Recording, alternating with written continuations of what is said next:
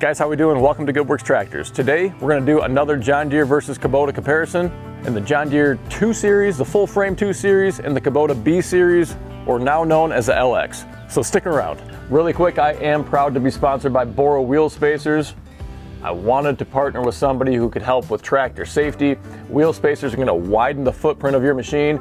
This B2650 that we got in happens to have Bora wheel spacers on it right now pretty darn cool. If you're looking for a stability solution for your tractor, make sure you check out Bora. And if you guys enjoy this video, I don't know unless you give me some feedback. You can do that in a few different ways. Just give me a thumbs up. You can hit that subscribe button down below. You can even leave a comment as well with something helpful about the video, something you can add to it, or something you took away. And as always, if you're looking for something for your tractor, you gotta head on over to goodworkstractors.com. We have a wide array of attachments and accessories available. Check it out, goodworkstractors.com.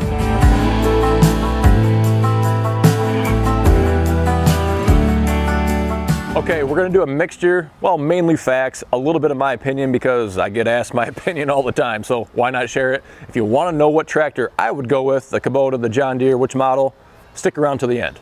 Okay, so we have a few models here, actually two models, uh, two are the exact same, but we have a Kubota B2650 over here, a John Deere 2038R in the middle, and then another Kubota B2650. However, this comparison if you're in the market shopping, you know, I sell used tractors, not new. So we're dealing with what I have. But this is gonna include, for the Kubotas, the B2650 and the B3350. I should probably touch on that later, why you should not get the B3350. And then also the newest generation, the LX2610 and the LX3310. Very similar to what you see right here. Now on the John Deere, you're gonna have the John Deere 2032R and the 2038R. Now pay attention, it gets confusing because that's what these manufacturers do. I guess there's an evolution to the products that's gonna go along with it as well. There's an old style of John Deere 2032R, which is really not anything like this. I've done a comparison specifically on the old versus a new generation or the Gen 1 versus Gen 2 generation on the 2032R. So we're just gonna stick with the current generation or Gen 2 of the 2032 slash 2038, which besides the horsepower, they're virtually identical.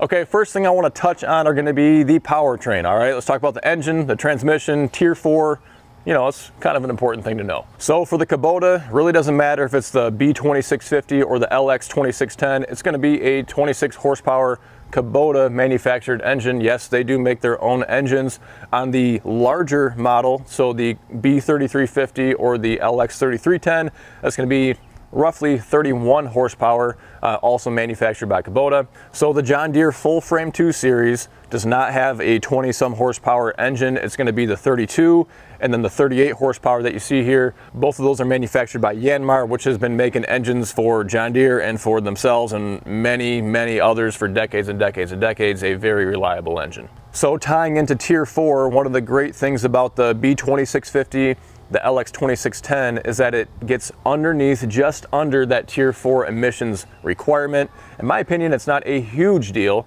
Uh, it's going to drive the cost up to add that additional compliance on there. You know, it's a DPF typically, which is a diesel particulate filter. Basically what that is, it's kind of like a soot collector. So it's going to collect all that, uh, that exhaust um, soot and remnants and contaminants and then at a certain point it's going to instruct your engine to rev up, generate enough heat, and kind of burn that off. Now, for the most part, these systems are very reliable. You don't really have anything to worry about. The one big exception, and I covered this in a video uh, about a year ago, is the B3350. That model of tractor, I tell folks to avoid at all costs. And I know there's people out there that have that machine that have never had an issue that's fantastic. You know, go buy a lotto ticket. But I can't in good conscience sell one of those to somebody else knowing that they could have some serious issues that Kubota didn't stand behind. They maybe sort of have a fix, but there are horror stories all over the internet. If you just Google B3350 problems or B33 tier 4 or whatever, anything along those lines, you're going to see a, a long reading list. You could read it all night long about the horror stories involved with that model of tractor. John Deere does have another model that starts with two, the 2025R. However, it is not a full frame. You know, it's not the same dimensions. It's more of a one and a half series, a little bit bigger than the 1025R, but certainly a lot smaller. Than the 2032, 2038. I've also covered that in another video. Don't want to get into it now, but that would be the 25-ish horsepower model. As far as horsepower goes, that would get you underneath that tier four compliance requirement. Again, I don't think that's the be all end all, but it is going to drive the cost up and it's just something to be aware of. So I just want to point out these are going to be premium models no matter which way you go, Kubota or John Deere. So that means they have things like tilt steering and cruise control, suspension seats, so a lot of bells and whistles and it will depend a little bit on the model that you get on what exactly is included. Of course, if you get a cab, you're going to have something like a radio too. But keep that in mind because a lot of the more plain Jane models, maybe like a, a B2601 for example, or if you go to a John Deere 3E series as another example, they're going to strip away a lot of these things that drive up the cost just to get you into a more plain Jane type of utility tractor. So they're going to keep the cost down but still allow you to get the work done. Let's spend just a minute talking about the difference in the transmission. The Kubotas, Love this about them. One of my favorite things, that's my opinion, interjected right there. They have a three range transmission. Hydrostatic, that's the only thing you can get for any of these John Deere's and Kubotas. There's no gear drive or power reverser of any kind. But a three range hydro transmission, low, medium, and high. I love the different incremental levels of speed and torque that you can get for different applications. Anytime I have a three range transmission, I find myself living in that medium range almost all of the time. So the John Deeres are going to come with a two range, a high and low range, so there's no medium involved. I do find myself bouncing around between those ranges a little bit more frequently. It's the same thing on my 1025R. The Kubota BX will be the same way, but um, that medium range sure is nice. And in my opinion, John Deere did a good job when they redesigned the 2R series. However, one of their misses was not including that third range in their transmission. Now it's not that John Deere doesn't know how to do or have a three range transmission because their 3R, their 4M, and their 4R series compact tractors all have a three range transmission. They just chose not to incorporate that into their 2R redesign. So one consideration may be actually how you make the tractor go forwards or backwards. What pedals do you push? With a John Deere, you're gonna have two side-by-side -side pedals, a forward and a reverse. You're gonna have a, a, split brake over on the far side, your left side as well, and a pretty open floor mat or floor space for your feet as well. So on the Kubota, how you're gonna operate the transmission, the hydro transmission, you're gonna have a single, it's called a treadle pedal, forward and reverse, and you can operate it kind of with your foot on it or off of it, just the toe or the heel.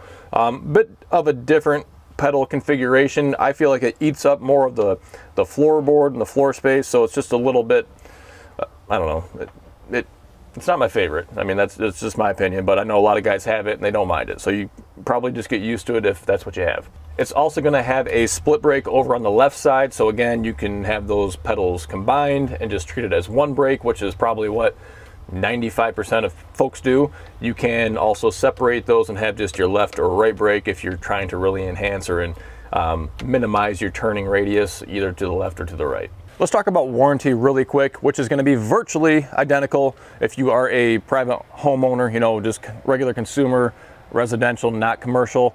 They're both going to come with a concurrent two-year bumper to bumper, and then a six-year powertrain warranty. They're also going to have a long emissions warranty if you do have one that has a Tier 4 emissions on it, but that's going to be transferable. So if you buy a used tractor that's, say, just a year or two old, you're going to have whatever the remaining balance is, where a dealer, Kubota or John Deere, just looks at the serial number of the tractor and is going to just look it up in their system, see if it's still under the year um, you know, requirement or, or, envelope there. And then same thing, they're gonna have a, typically a 2,000 hour limitation. So which for most of us that are just using these on our own land, we're never going to reach maybe even in the lifetime of using the tractor. Now to make sure you're aware, that warranty is gonna apply to just the tractor, not the loader, the mower, or the backhoe. Okay, we're gonna start going over the main attachments you can get, the loader, and the mower, the backhoe, cab or no cab. Let's start with the loaders first. There's going to be one model of loader that's available for whether it's the Kubota or the John Deere. You know, whatever your tractor has on it, you can't say, hey, there's a better or a worse option. You are able to get a non-leveling loader or a mechanical leveling loader. The mechanical version of that means that when you are raising or lowering the loader, say you have, the easiest example is a set of forks, but say you have a set of forks on there, you're trying to keep a pallet level as you raise and lower it. The mechanical loader will allow you to keep it level. With the non-self-leveling loader, the kind of the standard, that, that pallet fork is gonna start to tilt back as you raise or vice versa. If you had it level when it's up high, as you're lowering it, it's gonna wanna tilt down to the ground. So it just means you have to feather the controls and that is a little easier to do on the Kubota versus the John Deere. So that's Luke up there. This is, uh, this is summer break right now. That's why we keep him busy with camps and other activities. I probably need to have him pull those weeds that he's sitting right by. Hey Luke, you pull those weeds? There you go. Lift height for all of these is gonna be nearly identical. It's about 84 inches for any of the um, Kubota models, 85 inches for the John Deere, and that's gonna be the maximum height. They measure that at these pivot points right here. So you know, it's gonna give you a, a, rough comparison that no matter which one you go with, it's gonna be about the same lift height. So lift capacity, the amount that you can lift up with the front end loader is measured a lot of different ways. We're gonna give you just one of those numbers. That way it kind of simplifies the whole process and you're really, you're pretty close either way. It's almost a rounding error, but with the John Deere, you're gonna have about 1,120 pounds a couple different measurements or weight capacities depending on which loader you get for the Kubotas, but it ranges from 1,070 to 1,150. So you're right within maybe 50, 60 pounds either way at most, no matter which model you get. Again, that's just about a rounding error. I wouldn't really make that a big consideration either way. I had forgotten a few things I wanted to mention about the loaders, so we're gonna splice these in while we're talking about them. But on the newer Kubotas, like the LX series, the 2610 and the 3310, it's going to be a single point hydraulic connection. So you don't have to have four different hydraulic couplers that you're disconnecting or reconnecting when you want to take your loader on and off. That's going to be an option on the John Deere. It's not standard, but it's an option that you can add on if you want to. Both of these loaders are quick parks, so that means you can take them on and off pretty quickly. The older design of the Kubota is not quite as quick as the newer design. Uh, the John Deere is very easy to take on and off. I've done a lot of videos on that, but this isn't a challenge, but the new design on the LX is that much easier. Now as far as bucket attachment goes, John Deere is going to have a standard system called the John Deere Quick Attach. This is included in the base price of the loaders. On the Kubota, you are going to pay for an upgrade to have the skid steer quick attach coupler. You should see a line item on your quote from most dealers. Sometimes they might roll that in, but it's typically about a $500 upcharge. The base loader is gonna have a pinned bucket on there, and I know a lot of those dealers are really starting to migrate over, but it's just something to consider and make sure you note it that you're gonna have the skid steer quick attach coupler on your Kubota. Mower deck options, pretty simple. 60 or 72 inch are gonna be your options for any of the models that we're discussing today. I'm gonna give you my opinion right here. But the biggest difference between these mower decks is the fact that this is going to be a standard drive over and auto connect deck. And why I think that's important, we're talking about the John Deere, is the fact that you do not want to leave your belly mower on if you are not using it. If you are in the woods or in the fields, areas where there's rough terrain where it's easy, you can see there's not much ground clearance underneath, especially with the gauge wheels and everything else. A lot of spots to have a stump or a rock or a, an uneven hunk of ground, really whack it and knock things out of alignment and damage your mower decks. So essentially you're gonna be less prone to damage your machine with a more convenient system.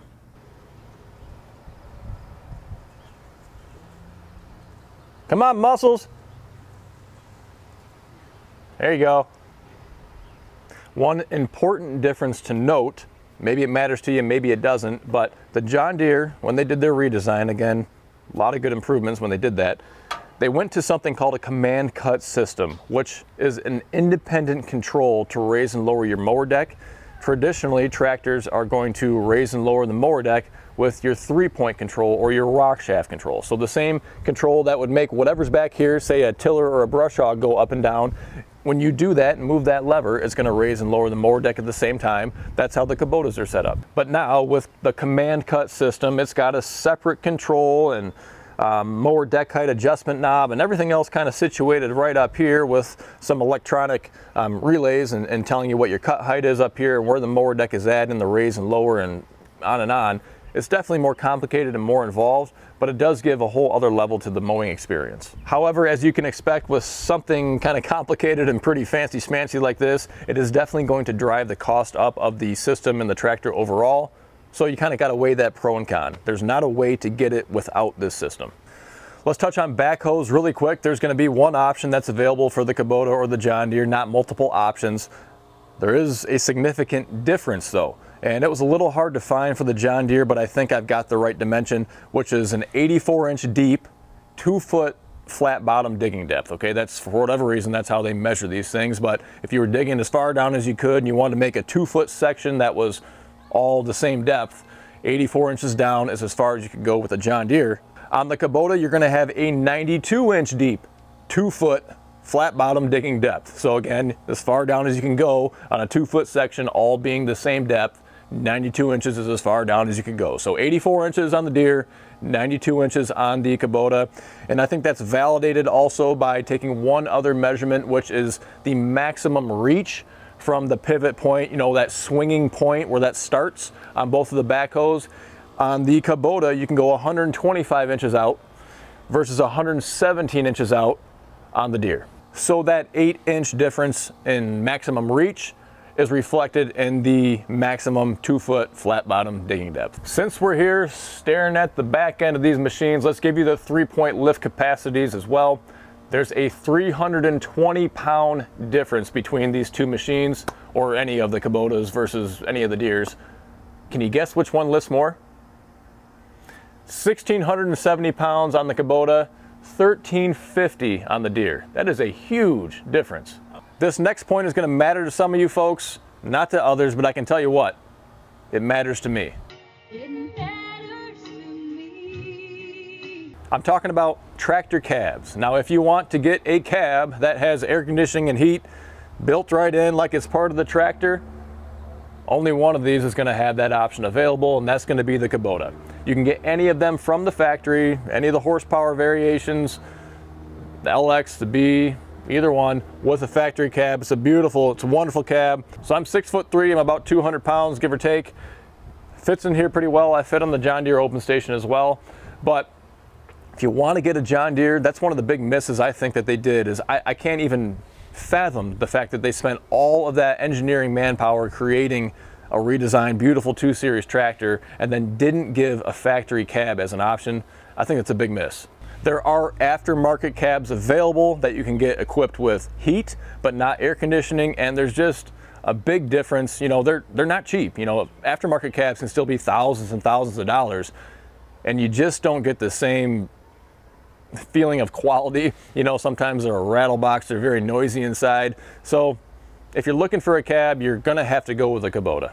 And since we have the three points right here, I want to point out one other big difference, which is going to be the style of adjustment for the lower arms. On the John Deere, you're going to have just a traditional style of turnbuckle. You have to loosen a nut in this case, and then you can uh, shorten or lengthen a rod to make the lower arms separate further or come in closer to one another. The Kubota is going to have what's called a telescoping draft link. So it's a two-piece system. You have an inner and an outer piece where you can pull one of these pins, easily slide the lower links, pretend you didn't have a, a quick hitch on here, but easily slide these lower arms in and out and then just reset your position by putting the pin back in.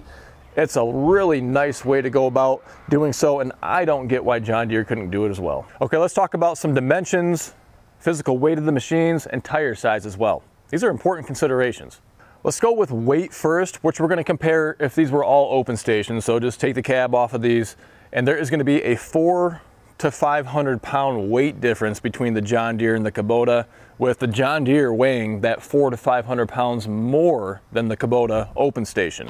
So for the John Deere, it doesn't matter the model, the 2032 or the 38 is gonna weigh about 2,400 pounds. Now the B series does fluctuate and vary, but these smaller variants like the B2650, the LX2610, are gonna weigh in around 1,800 pounds. So that's actually about 600 pounds difference right there. Now that I'm doing some more math in my head. But if you go to the B3350 or the LX3310, you're gonna go to 1,900 to about 2,100 pounds. So those are gonna be a little bit heavier, um, a little bit more steel, I guess, in there. The tire size is going to be a little bit larger as well. That accounts for some of that. But either way, even the big variants of the B and the LX are gonna be significantly less weight than the John Deere. And for a point of reference, if you do end up adding on one of the cabs of the Kubotas, ballpark about 500 pounds of additional weight. As far as the width goes, for any of these models, you're pretty much right at 54 inches wide. Of course, you can make some adjustments if you reverse the wheels to give yourself a slightly wider or narrower footprint, or maybe even if you add some wheel spacers like what you see over on this B2650 right here. As far as wheelbase, center of the front wheel to the center of the rear wheel or front axle to the rear axle, almost identical again. A couple inches longer on the John Deere, 68 inches versus 66 on the Kubotas, but that's not really anything I would worry about. The B2650 and its newer counterpart, the LX2610, will have the smallest tires of the bunch, the rears being the 12.4 by 16, the John Deere's and then the larger Kubotas, the B3350 and LX3310 are gonna have 14 by 17.5. So a little bit taller, a little bit bigger tire overall. If you're gonna have them loaded, a little bit more weight that you can put in there. An interesting note, last year I had a Kubota LX3310 quoted for myself. I was strongly considering getting one uh, with a cab on it. And the dealer actually pointed out that you could not get rear wheel weights on the 3310. And you can see this B2650, there's no holes that are in here either, so I don't think that rear wheel weights, for some reason, are an option for either of those models. If you take a look at the John Deere wheel, you can see they do have holes or provisions to add on wheel weights on all of their models. Alrighty guys, that's just about gonna wrap it up. I'm sure there's things that I forgot, but if you have something that you know about, or maybe it was a consideration for you, or something you wish you had one of these machines had, just leave a comment down below. Um, you know, gonna help somebody else out by sharing that information. The one thing I can think about is on the open station tractors, the John Deeres do come with fender mounted work lights on them as well. That's not something that's gonna be found on the Kubotas. Of course, if you get a cab, they're gonna have plenty of work light options on the, on the front and the back of the cab. So I told you in the beginning, I was gonna give you my opinion, which one would I get? And I would definitely go towards one of the Kubotas. Uh, I do really like a, a cab though. I used to not care too much. So if you're looking for a cab, that may be a consideration for you too. But for me, I love the factory cab with the air conditioning and the heat, you know, whether it's the, the bigger or the smaller horsepower model isn't too big of a difference. But the fact that you have a three range hydro transmission as well, that's a main operator interface, you know, with, with the range and the speed, the torque uh, of the transmission. So that's a huge consideration. The one big downside for me is I don't like the treadle pedal very much. I don't think it's very comfortable for me to operate, but I do bounce around from a lot of different machines. I'm always using something different. That's just one that I'm not comfortable with. However, that being said, you know, I'm breaking course here. I'm not, I'm not going John Deere. I do think that both of them are very good tractors, but for me, I'd be going Kubota. So that's gonna do it, folks. Again, I don't know what you think about the video unless you let me know. You can do so by giving me a thumbs up, hitting that subscribe button, or leaving a comment down below. And as always, if you're in the market for something for your tractor, make sure you head on over to goodworkstractors.com. Thanks again for stopping by, and until next time, stay safe. We'll see you soon.